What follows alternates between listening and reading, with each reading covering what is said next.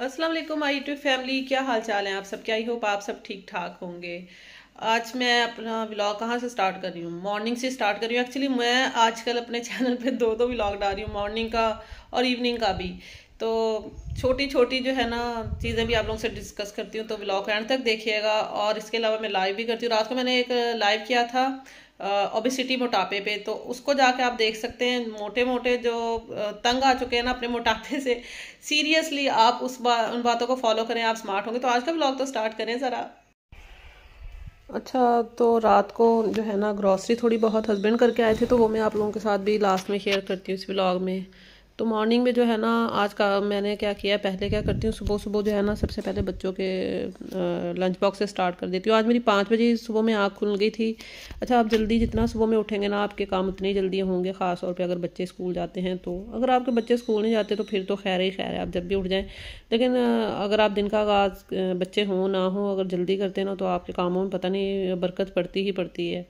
और यहाँ पे फिर मैंने क्या किया कि पहले चाय ही बना दी, वरना मैं चाय जो है ना आजकल क्या करती हूँ, बच्चों को भेजने के बाद ही रखती हूँ। तो काफ़ी टाइम था मेरे पास तो इसलिए जो है ना बच्चों को लंच बॉक्सेस से पहले बच्चों को मैंने दूध बना के दिया हमेशा की तरह, और अपने लिए और हस्बैंड के लिए जो है ना वो मैंने बनाया है नाश्ता नाश्ता नहीं मतलब ये सुबह का हल्का फुल्का से जो है ना वो हम लोग पराठे वराठे तो आपको लोगों को पता है जो मेरे रेगुलर ब्लॉग देखने वाले के हम लोग जो है ना पराठे नहीं खाते हैं। तो कभी बिस्किट, कभी बाकर खानी, कभी ब्रेड इस तरह से होता है। और यहाँ पे चाय मैंने इलायची वाली बनाई है। और बाकर खानी जो है ना, मुझे तो खैर बहुत पसंद है। तो बाकर खानी जो है ना, उसमें मैंने और अपने हस्बैंड के बाकर खानी में इस तरह से हम लोग बच्चों की तरह ही खाते हैं अभी भी। खैर, कोई बात नहीं, जितनी भी एज हो जाए बंदे में कभी कभी बचपन आ जाना चाहिए। इस तरह से आप ज़िंदा दिल रहते हैं मेरे ख्याल से। अच्छा चाय में बाकर खानी डाल के मैंने एक साइड पे रख दी ताकि ज़रा फूल जाए और मैंने नूडल्स जो है ना, वो आज बच्चों के दिए हैं। काफ़ी दिनों बाद नूडल्स आए मैं रेगुलर बच्चों को नूडल्स नहीं देती हूँ, कुछ ना कुछ डिफरेंट करती रहती हूँ, लेकिन नूडल्स भी उन डिफरेंट में ही आता है कि हफ़्ते में एक आध बार जो है ना वो नूडल्स हो जाती हैं। तो हस्बैंड रात को नूडल्स लेके आए थे तो ये काफ़ी दिनों से मांग भी रहे थे। तो एक दो दिनों से। तो फिर मैंने क्या किया, अपनी बाकरखानी में चाय डाल के रखी और इनके लिए ना नूडल्स जो है ना वो मैंने बना के बनने को ऊपर रख दूँगी। अच्छा मेरा नूडल्स का तरीका अलग ही है। मैं क्या करती हूँ, सारी नूडल्स निकालती हूँ, उनके मसाले डालती हूँ। देन उसमें ना पानी भी ज़्यादा सारा डाल देती हूँ। इस तरह से ना नूडल्स फूल के काफ़ी सारी बन जाती हैं। मतलब अगर ज़्यादा पानी में ये बनाओ और फिर उस पानी को अगर नूडल्स में ही ड्राई कर दो मतलब ये नहीं कि पानी जो है वो लंच बॉक्स में बैठता फिर, ऐसे नहीं है कि पानी सारा नूडल्स जो है ना वो आग पे पकते पकते पी जाएँ तो नूडल्स काफ़ी सारी बन जाती है। तो मेरा तो तरीका यही है। मैं जो इनकी रेसिपी होती है ना, उसको कभी भी फॉलो नहीं करती हूँ। तो इस तरह से मैंने जो है ना, वो इनकी नूडल्स जो है, वो रख दी। इसलिए शायद मैंने चाय भी इसलिए बना दी है कि नूडल्स सबसे आसान होती हैं। अगर बच्चों को लंच बॉक्स में कभी कभार देनी हो तो।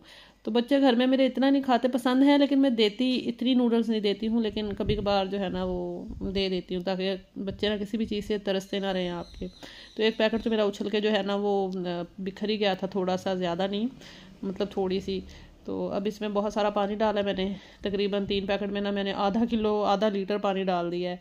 और इसमें जो है ना वो अभी मैं इसका कैप लगा के इसको रख दूँगी और जब तक मैं क्या करूँगी अपना चाय बाकर खानी जो है ना वो इंजॉय करूँगी। क्योंकि मुझे तो बहुत पसंद है वैसे चाय और बाकर खानी मुझे नहीं लगता किसी को कोई ऐसा होगा जिसे नहीं पसंद होगी। तो चलें, ये बनती रहेगी। और ये जो है ना, ये अबीहा जो है वो अपना चॉकलेट शेक बना रही है।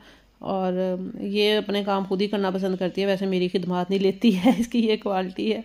तो नूडल्स जो है ना वो तकरीबन बन चुकी तो अब जो है वो हस्बैंड की बाकर खाने भी डिप करके रखी हुई थी तो हस्बैंड जो है ना, वो रात को मैंने गद्दा कल दो दिन के लिए धूप में सेहन में फेंका हुआ है तो हस्बैंड ने इसको जो है ना, वो एक जान के गनीमत जान के ऊपर से स्टोर से मच्छरदानी लाया और उसमें नबीहा और ये सो गए थे। तो नबीहा को भी अब जो है वो मैंने उसका चॉकलेट शेक बना के दिया है और हस्बैंड और मैंने अपना नाश्ता कर लिया और बच्चे जो है ना, वो रेडी हो रहे हैं और बीहा जो है वो लंच बॉक्सेस में, बीहा मुझे कह रही है कि मम्मा, आपने जो लंच बॉक्स है ना, वो सही से नहीं धोया। मतलब अबीहा हर काम इतनी सफ़ाई से पसंद करती है। ये ख़ुद भी माशाल्लाह से हर काम जो भी करती है ना, बहुत नीटली सफ़ाई से करती है।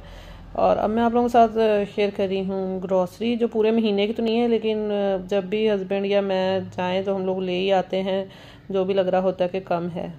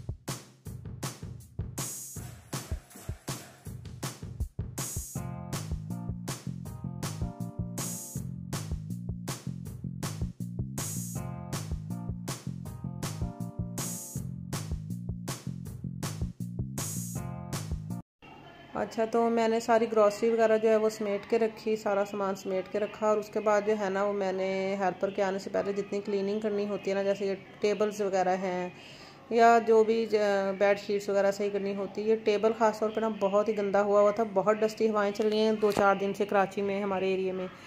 तो और सुबह हस्बैंड के कुलीग आए थे तो मैंने खाना बनाया था तो उन्होंने इसके ऊपर बैठ के खाया ना तो सालन वालन सब गिरे पड़े थे। इसको मैंने बहुत अच्छे से जो है ना वो क्लीन किया पहले गीले जो है वो बुनियान टाइप जो कपड़ा होता है ना, जो गारमेंट्स होती है बच्चों की टी शर्ट्स वगैरह की, उससे मैंने, मेरी क्लीनिंग बहुत अच्छी होती है। मैं हर ब्लॉग में तकरीबन बता चुकी हूँ, जिसमें भी क्लीनिंग की है मैंने। तो इसको मैंने पहले गीला करके लगाया दैन इसको जो है ना पूरे टेबल पे बहुत बड़ा सा ये टेबल है तो इस पर किया और ये सोफ़े लाइट कलर के तो ये भी ना डस्टी हो रहे थे तो फिर मैंने जो है ना आज काफ़ी टाइम जो है वो अपनी क्लीनिंग को दिया और उसके बाद जो है वो डाइनिंग वगैरह बाहर आके जो है ना वो क्लीन किया। अच्छा डेली जो है ना थोड़ी बहुत थोड़ी बहुत नहीं बल्कि बहुत अच्छी खासी क्लीनिंग आप करते रहें तो आपका घर साफ़ रहता है। वरना जो है ना आप एक दिन ना करें, जैसे एक दो दिन पहले जो है ना मैंने एक दिन क्लीनिंग नहीं किया। आप यकीन जाने संडे था हेल्पर भी नहीं आई थी, वरना वो नीचे नीचे से तो कर जाती है। तो इतनी फील नहीं होती है। लेकिन ये वाली क्लीनिंग जो है ना, वो मैंने डेली तकरीबन खुद करनी ही करनी होती है। तो डेली नहीं तो एक दिन छोड़ के तो जैसे वो टेबल मैंने शीशे के साफ़ किए थे, वो एक दिन छोड़ के एक दिन लाजमी, लेकिन ये डाइनिंग तो डेली दो बार भी होता है, क्योंकि इस पर बैठ के बच्चे खाते हैं। तो मैंने जो है वो बस अभी भी आ गई थी, और ये था मेरा मॉर्निंग का ब्लॉग कैसा लगा, लाजमी बताइएगा